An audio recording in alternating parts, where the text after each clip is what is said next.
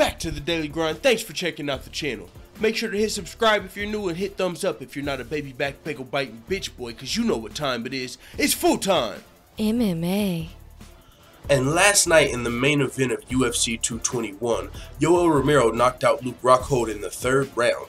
And now, if you think about the last two years of the UFC's middleweight division, that thing has been log jammed with nothing but killers. Like, we there was really no way to tell who the absolute best middleweight on the planet was. There was just no way.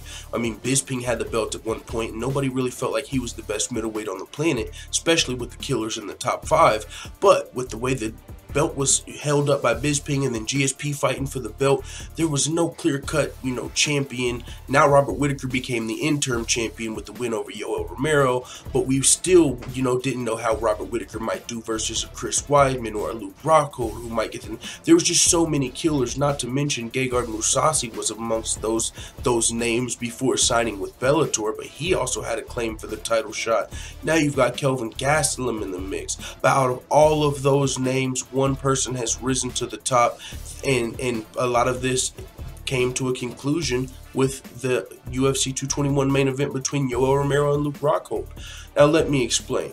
The answer is the UFC's current middleweight champion Robert Whittaker. He's the best middleweight on the UFC's roster. Spoiler alert, he's not the best in the on the planet in my opinion. That goes to Gegard Mousasi and as I said, Yoel Romero versus Luke Rockhold is really what uh, cemented this to me. Let me explain what I'm saying. All right, so it used to be out of the top four in the middleweight division Chris Weidman, Luke Rockhold, Yoel Romero, Jacare Souza, Robert, and Gegard Mousasi. Uh, Robert Whittaker and Derek Brunson were right on the outside, you know, getting knockouts, doing their thug dizzle, right on the outside of that top five. Well, they ended up fighting Robert Whittaker and Derek Brunson. Derek Brunson was on a five-fight knockout spree. Robert went. Robert Whittaker was also on an impressive winning streak in the middleweight division. Robert Whittaker ends up knocking out Derek Brunson. So now he gets a shot versus somebody in this top five. These guys, you know, a lot of the top four, top five, uh, they were they weren't wanting to fight because they felt like the division was held up. So Chris Weidman or Luke Rockhold might have been injured. You know, Luke Rockhold didn't fight after he lost his belt, he, he only fought one time versus David Branch. So we didn't really get to see Luke Rockhold mix it up with none of those guys to really answer who's the best, who really deserves the next title shot. Well, Robert Whittaker beat Derek Brunson, and then he did get a fight versus Jacare Souza. A lot of people at the time picked Jacare to win because he was one of those four killers. No one really, everyone was looking past Robert Whittaker, like, yeah, you know, he's he's been he just knocked out Derek Brunson and he's on a winning streak, but this is one of those four killers that we all look at as one of the next champions. Robert Whittaker was still outside of that picture. Gegard Mousasi couldn't get a fight versus one of those guys either. Now, he ended up getting that fight versus Chris Weidman, but the ending was somewhat controversial, even though Gegard got the win, it was somewhat controversial. Uh, the middleweight division, there's been so much going on, and I'm glad we got a clear-cut winner. So, Robert Whittaker went up to beat Jacare. Super impressive fashion still didn't earn him a title shot because some people might have thought it was a little they the way the performance went there was no way it was a fluke but people still didn't feel like Robert Whittaker was definitely in um, the best middleweight on the planet or even number one contender just because he beat Jacare. Ray that's where people start to say well maybe Jacare's past his prime. Maybe Jacare was injured. Maybe you know there's reasons that people were giving for why Robert Whittaker could have won. Now since then Jacare's went on to still look great and everything that's happened. We know know Robert Whittaker is just a fucking you know UFC middleweight champion, so that he when he fought Jacare and beat Jacare, now it's not too crazy as it was when he first did it. So Robert Whittaker had to get another fight, and it was the interim title fight he got after that. But that's after Luke Rockhold and Chris Weidman. I believe one of them was injured, so it was Yoel Romero versus Robert Whittaker for the interim middleweight title. Robert Whittaker gets his leg hurt in the first round. Yoel Romero could have caused it either way.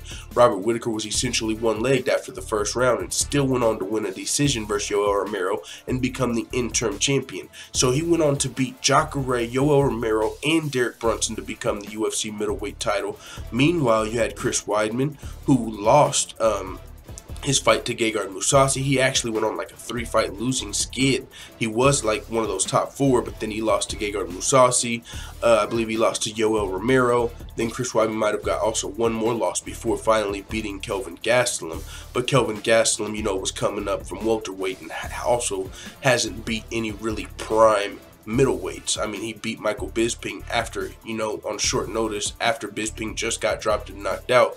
But that's really you know, Kelvin Gastelum hasn't beat any of the Derek Brunsons, the Yoel Romeros, the Jacares, the, the you know, the Rockholds, the Weidmans. Actually, when Gastelum fought Weidman, it what you know he he landed a good shot, but after that, it was kind of like Curtis Blaydes versus Mark Hunt. You landed a good shot in the first round, but then you essentially went on to get dominated. That's what happened with Chris Weidman versus Kelvin Gastelum. Chris Weidman's wrestling, it was just way too much for Kelvin Gastelum. He ended up getting submitted. So now Kelvin Gastelum's making his claim to the title shot, but he's kind of waiting. You know, he's not really fighting any of the top guys because it might not be good matchups for Kelvin Gastelum. That's why he's not the best middleweight on the planet, even though he might fight Robert Whittaker and he's got a chance at knocking him out. But if Chris Weidman gets a rematch for the title versus Gastelum, you know, it's probably not going to go too good for Gastelum. It's probably the same with Rockhold, Romero. Romero's actually one of the number one contenders again. Uh, maybe we need to see Gastelum versus Romero to see who gets the next title shot because um, we'll talk about that at another time because with Yoel Romero winning that fight, he didn't become the interim champion, which means he's not guaranteed a title shot. He might have to fight one more time. All type of stuff going on in the middleweight division. But either way, out of those four names, Weidman took some losses. Rockhold lost to Bisping. Some people called it a fluke, but now, as of last night, we also saw him get knocked out by Yoel Romero. So that's not too much of a fluke. So Weidman and Rockhold are out of the best middleweight in the world for today conversation. Jacare, he lost to Whittaker, the current champion, and it was, you know, pretty one-sided. One second. So if you're talking about Robert Whittaker and Jacare, that goes to Robert Whittaker. There's three of those names. So you had Luke Rockhold, Chris Weidman, Jacare, we and Whittaker's taking the nod over all of them. Last person, Yoel Romero.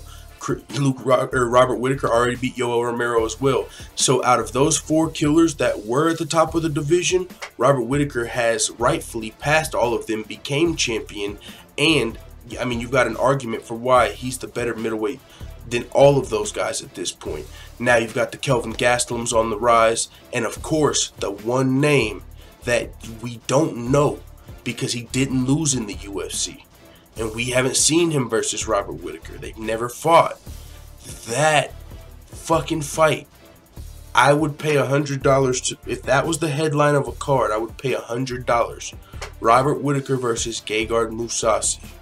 Gegard Mousasi's now in Bellator. There's some fucking trolls that say, "Oh yeah, but he, he lost to Shlemenko." No, he didn't. He had fucking one eye and he still went on to win the fight. In my opinion, it was close but he had one eye and still didn't get finished, and he's the better fighter. They fought again and Gegard had two eyes, he's winning the fight. So Gegard, yeah, take that off. And even if you don't take it off, he still got the W. Add it on. So Gegard Mousasi was 5 and 0 when he left the motherfucking UFC, bro. I got Gegard Mousasi. Boom. Fuck you, time, Matt. Gegard Mousasi win over Weidman. I mean, he's he's got to win over Jacare. It was a, uh, you know he, he fucking was losing to Jacare, but this was before USADA, I believe. But even after USADA, he fought Jacare, so I don't want to say anything about that. Jacare, you know, is a is a very talented middleweight, but Gegard Mousasi and Jacare, I believe, are one and one. Now, Uriah Hall, yeah, Gegard Mousasi has a loss to Uriah Hall. It was a spin kick. I mean, it could happen to anybody in MMA. He avenged that loss. So Gegard Mousasi is my one of my favorite fighters and favorite middleweights on the planet. I think Gegard Mousasi is the only middleweight that I can make a case for beating Robert Whittaker right now. I mean, anyone can land a shot, of course, but as far as overall well-rounded fighters, I got Gegard Mousasi versus Robert Whittaker. And, you know, those other top four guys in all the middleweight division, the top five is nothing but fucking killers. But Robert Whittaker has risen to the top of the pack. I mean, to as I said, Rockhold and Weidman took took a couple of losses apiece. Now that you know we saw Yoel versus Rockhold, Yoel and Jacare have both already lost to Whittaker. So out of those four guys, Whittaker's at the top of the pack. Now you got Gastelum coming up, of course. You've got um, the style bender, uh, Israel Adesanya coming up. You've got Paulo Costa coming up. There's some young killers coming up, but Robert Whittaker himself is only like 26, so those guys got their hands full with the current middleweight champion. It's a great time to be an MMA fan, and if you're paying attention to the middleweight division, man, that shit's crazy how it all played out. Robert Whittaker on top, Gegard Mousasi's at Bellator. What if Gegard Mousasi becomes the Bellator middleweight champion and we can get some type of crazy co-promote and we get to see Robert Whittaker versus Gegard Mousasi? Holy shit, that would be the fucking fight to make. That's the biggest fight I think I want to see right now. Like right now, today, cross promote any organization. I want to see Gegard Mousasi versus Robert Whittaker to know who's the absolute best middleweight on the planet. But that's just me, a fucking MMA fan. And it is what it is. So let the full time family know what you think in the comments. I'm out. Da